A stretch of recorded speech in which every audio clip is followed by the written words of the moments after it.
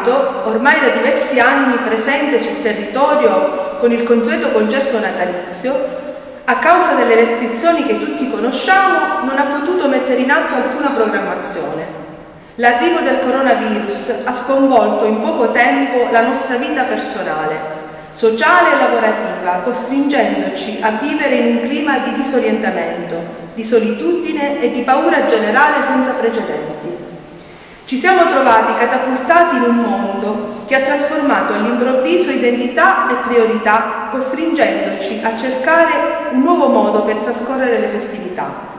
Certo, l'atmosfera natalizia si è respirata, ma in modo diverso, più intimo.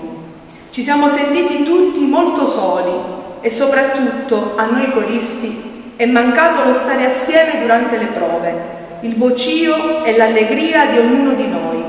È mancato in particolare il contatto ed il calore con il pubblico. Ma il virus non ci può fermare, il virus non ferma la musica. La voglia di fare e l'entusiasmo delle nostre giovani coriste, le quali non hanno voluto rinunciare, malgrado le restrizioni, al tradizionale concerto di fine anno nella modalità consentita dalla legge al fine di portare un momento di serenità nelle case di ognuno e far dimenticare per un attimo i brutti ricordi di quest'anno con la magia travolgente che solo la musica sa dare.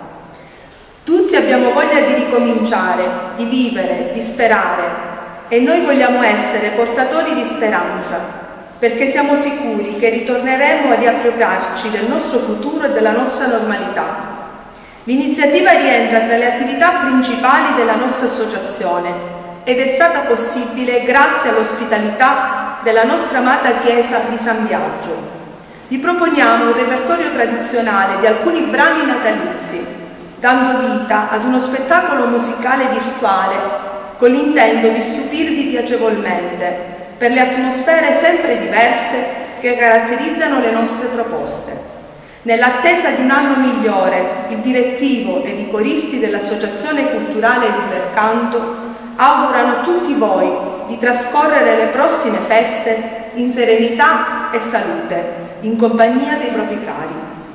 Infine un sentito ringraziamento al nostro parroco, Don Eugenio, per la disponibilità ed il supporto dato al sindaco e all'amministrazione comunale per l'atteggiamento collaborativo e costruttivo con il quale ogni volta si sono relazionati con la nostra associazione, a Telediamante per le riprese e a tutti quanti ci seguono e ci sostengono.